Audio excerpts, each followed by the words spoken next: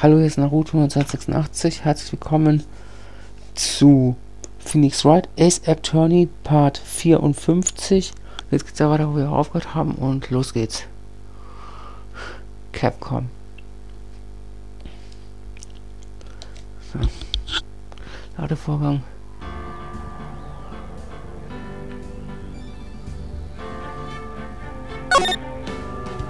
So.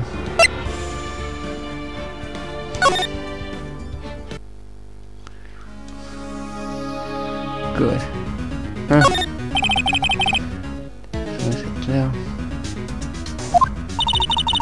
Ich frage mich, warum der Bootsverleiher den Brief nicht mitgenommen hat.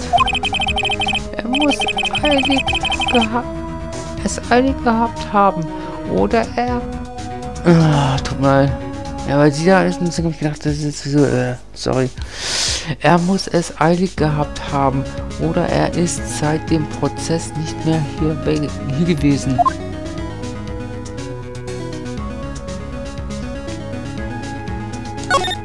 Hm. Hm. Vielleicht sollte ich mich von äh, mich um Polly kümmern, Nick. Du solltest sie vielleicht nicht einfach so mitnehmen. Die Polizei weiß doch über die Bescheid, sie Bescheid. Ich bin sicher, dass die schon für sie sorgen. Nun okay, äh, nun okay. Tut mir leid, Polly. Er sagt, ich darf dich nicht mitnehmen. Na toll, jetzt wird mich dieser Vogel hassen. Alles klar, gut. Dann bewegen wir uns mal bootsfrei raus. Bewegen. Als nächstes bewegen wir uns zum... Ja, Strafanstalt. So. Ja. Genau. Dann bewegen wir uns von da aus zur Strafanstalt. Hm. So. So. Nein, jetzt nicht. 27. Dezember, Strafanstalt, Besucherraum.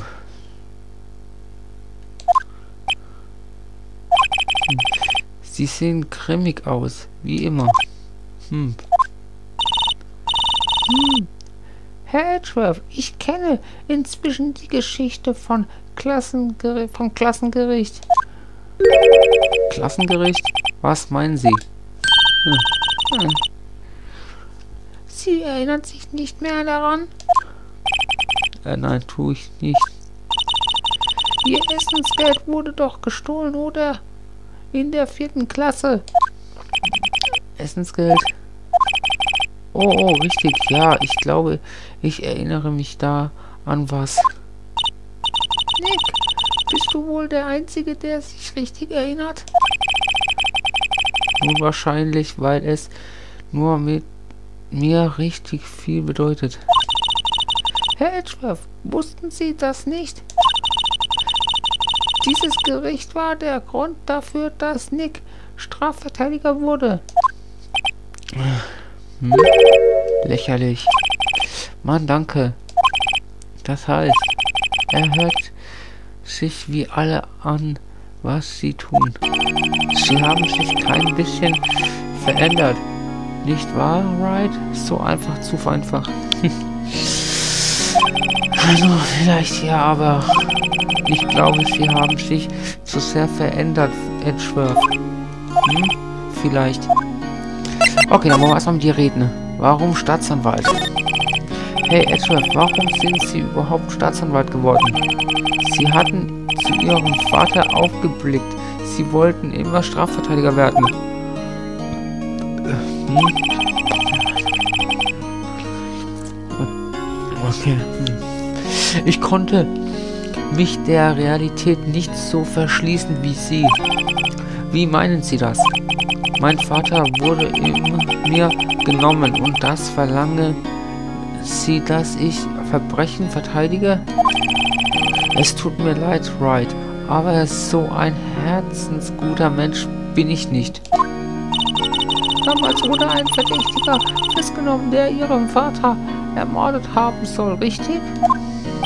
Ja, es war der Mann, der mit meinem Vater im Fahrstuhl stecken blieb. Sein Name war Jung Jani Yogi. Natürlich nicht. Mit, damit mit mein, nein, das war er nicht. Damit meine ich natürlich, er hat ihn nicht getötet. Er war mit ihm im Fahrstuhl, aber er hat ihn nicht getötet. Der, der Schuss kam von draußen. Es war Manfred von Kammer, wo ihn getötet hat. Er schoss meinem Vater, egal wie sie es drehen und wenden. Nein, hat er nicht getan. Aber er kam, kam davon. Der Verteidiger boxte ihn raus. Ganz klar, natürlich. Warum auch wohl?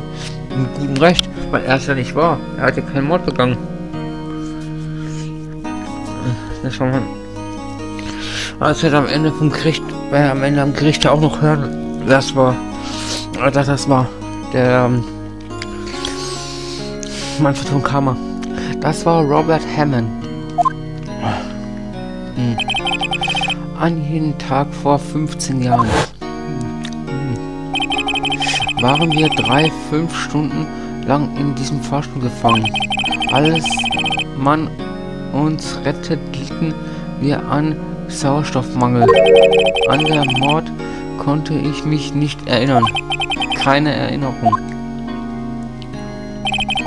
Selbst heute kann ich mich nicht daran erinnern, was in dem Fahrstuhl passiert ist. Na, siehst du, deswegen kannst du nicht einfach sagen, er war's. Wie du selber sagst, nur Beweise zählen.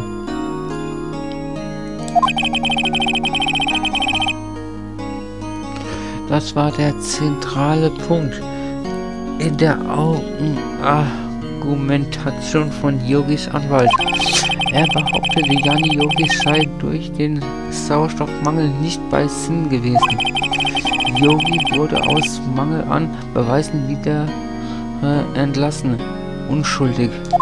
Was ja auch stimmt.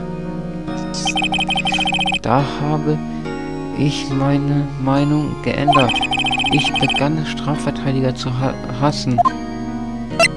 Ankläger von Karma. Wie ist Ihr Verhältnis zu von Karma? Er ist mein Mentor und ein Mann, der großen Respekt verdient. Das glaubst nur du. Du wirst äh, später anders darüber denken, wenn du weißt, was du die Wahrheit kennst. Edgeworth. Er hat mir all meine Verhandlungstaktiken beigebracht. Er ist das, was meine Schwester für dich war, Nick.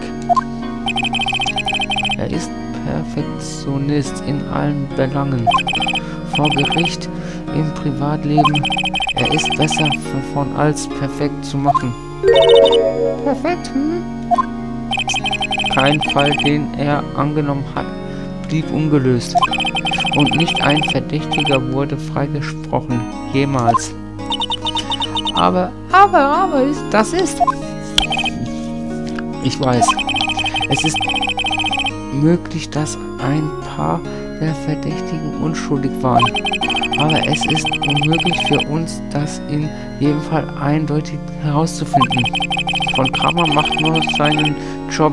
Er bringt Verdächtige hinter Gittern. Perfekt. Ja toll, auch wenn es Unschuldige sind. Ist ein kleiner, mieser Dreh. Punkt, Punkt. Ihr wisst, was ich damit meine. In jedem Fall, er hat keine Schwäche. Oh, er hat eine Schwäche und die habe ich schon rausgekriegt. Und sollte er doch eine bemerken, würde er alles tun, damit sie verschwindet. Hm, Edgeworth. Ja, er hat eine Schwäche, aber leider kann er diese Schwäche leider nicht verschwinden lassen, dieser Knall, diese Knalltüte von, von deinem Mentor da, der Karma, Manfred von Karma. Wenn das, was Sie sagen, wahr ist, dann werden Sie morgen schuldig gesprochen. Er hat recht.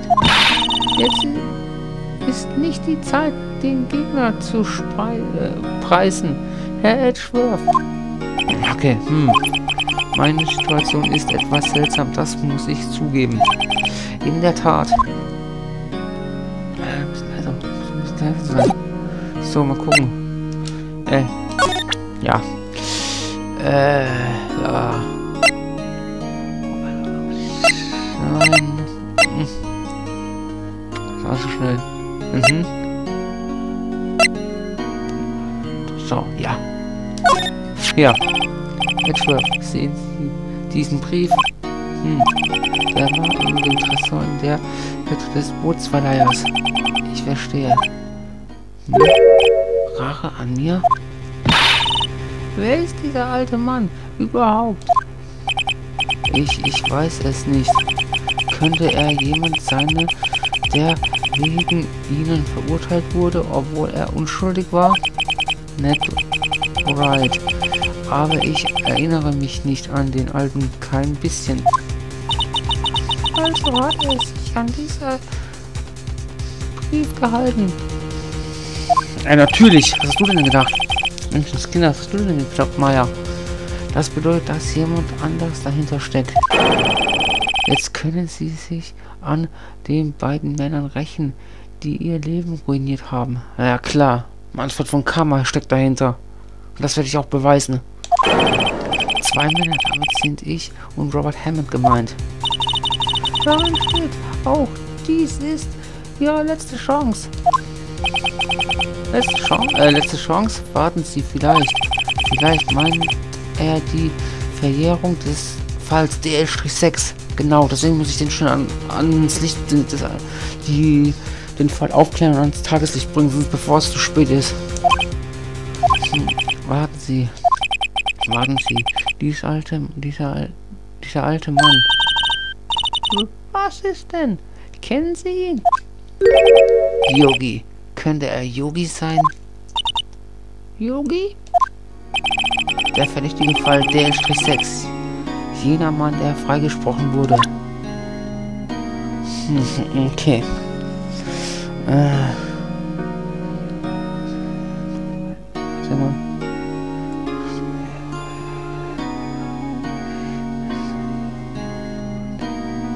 Okay. Hm, Ja. Schau. Jan Yogi war damals ein Gerichtsdiener. Ah, okay. Wir waren rein zufällig in diesem Fahrstuhl vor 15 Jahren. Na, das wusste ich, dass er Gerichtsdiener war, klar.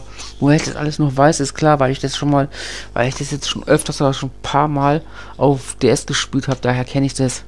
Und ich will, Leute, ich will hier auch nicht spoilern und nichts, aber viele, wo Phoenix Wright vielleicht schon vorher schon gespielt haben auf DS, die müssten es eigentlich kennen. Und äh, für die äh, wissen halt auch, was in dieser Geschichte geschieht.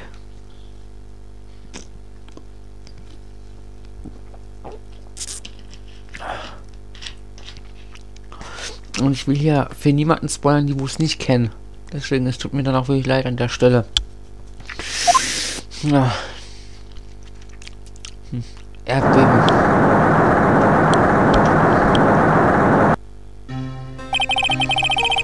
Ja, okay, dann musst du Lotzberg gehen und zum Brossenberger.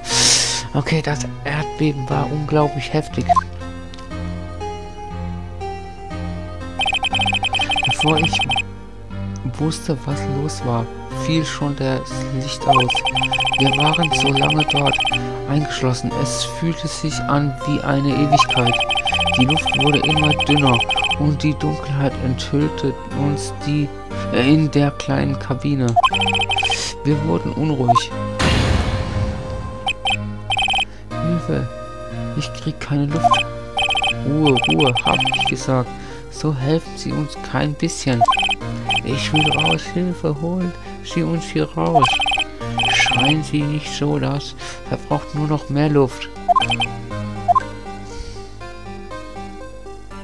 Da hat er recht. An mehr erinnere ich mich nicht. Als ich aufwachte, lag ich im Krankenhaus und starrte an die Decke.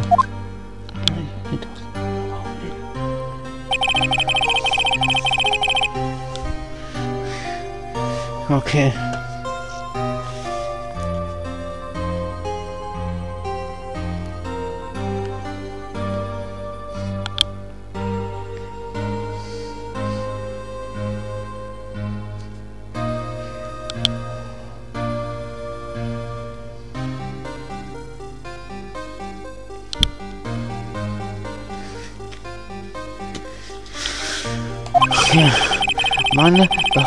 Dass er durch Sauerstoffmangel und Stress äh, zeitweise die Fassung verloren.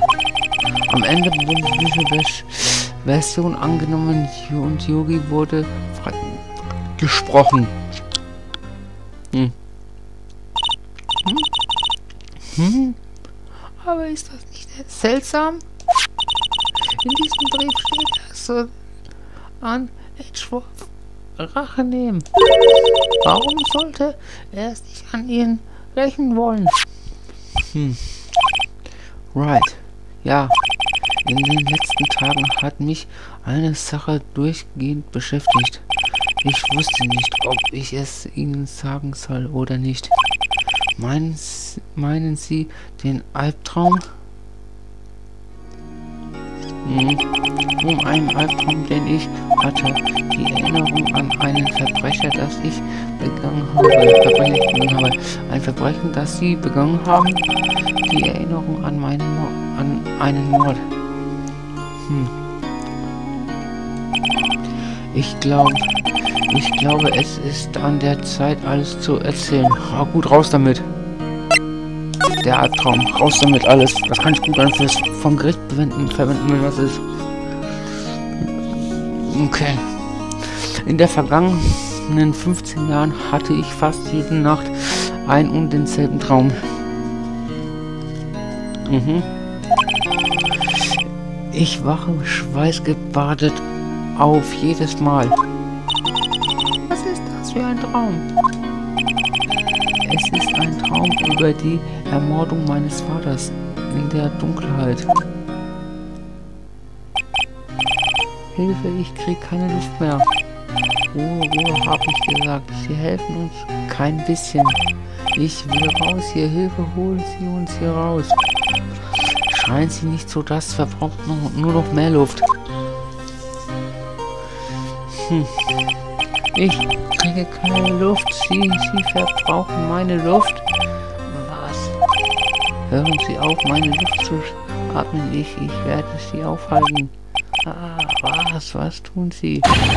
Hören Sie auf, meine Luft zu atmen. Nein, Papa. Er greift Papa an. Dann sehe ich die Pistole zu meiner Füßen. Sie war ein Beweisstück aus dem Gericht oder gehörte dem Gerichtsdiener. Wie Ta hob ich die Trance, hob ich die Pistole auf. Hör auf. Lass meinen Vater in Ruhe. Peng. Wow. Arg.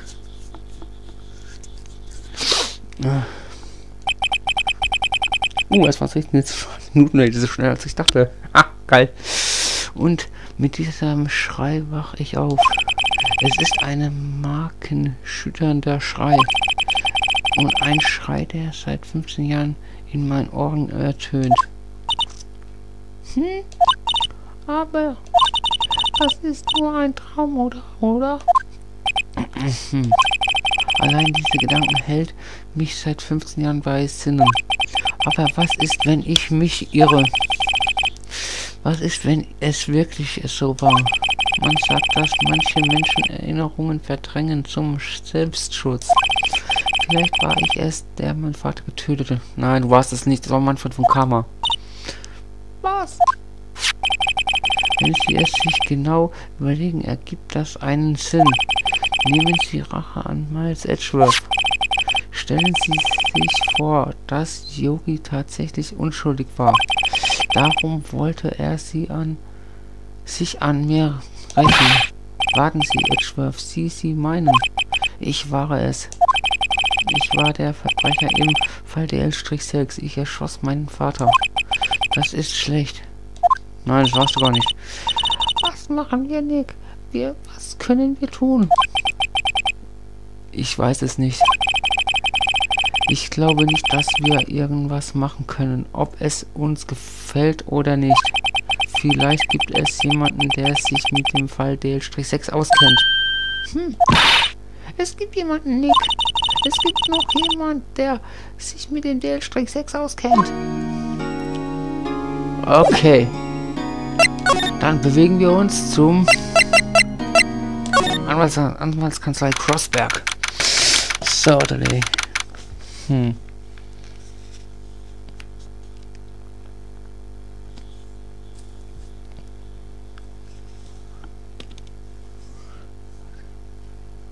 Jawohl, genau, das wird witzig. So. Mhm. Äh, Herr, Herr Kreuzberg. Ach, guten Tag, was ist los? Sie sehen besorgt aus. Ich kann nicht glauben, dass Sie nicht besorgt sind. Oh, oh je, oh je. Beruhigen Sie sich und sagen Sie mir, was passiert. Hm. Es ist Herr Herr, Herr, Herr Schurz. Hm. Ich verstehe. Edgeworth hat also geträumt, dass er seinen Vater ermordet hat. Er ist nur ein Traum. Nur ein Traum. Ich frage mich. Was? Wenn das so ist, warum sehen sie beid dann, beiden dann so besorgt aus? Hm. Nun, bedenken Sie folgendes. Yogi hegt einen tiefen Hass gegen Miles Edgeworth. Der Hass sitzt so tief, dass er ihn wegen Mordes vor Gericht bringen will. Das führt mich zu der Annahme, dass er Herr Edgeworths Traum kein Traum war, sondern die Realität, wie sie es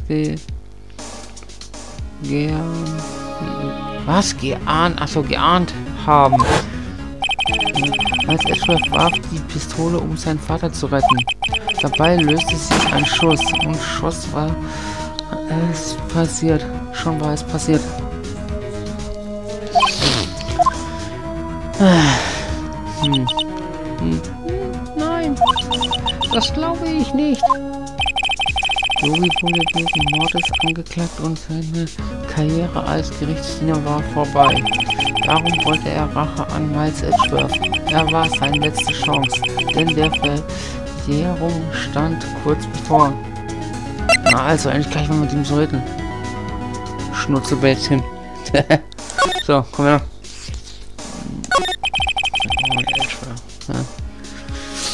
Was wissen? Ach Gott, sorry. Was wissen Sie über Edgeworths Vater? Hm. Er war ein Strafverteidiger, der seinesgleichen, seinesgleichen suchte. Das klingt zwar banal, aber es stimmt. Nun, vielleicht gab es jemanden, der ihm ebenbürtig war. Ihr Moment, äh, Mentorin Mia Fey. Meine Schwester? Gregory Edgeworth verabscheute Herrn von Karmas Methoden. Ja, kann ich ihn gut verstehen. Ich auch. Das überrascht mich nicht. Von Karma ist extrem für ihn, sind falsche Aussagen und Beweise nichts Besonderes. Das Resultat eines perfekten Siegesbilanz vor Gericht. Um ihn zu schlagen, versuchte Gregory Edgeworth auf seine Methode aufmerksam zu machen.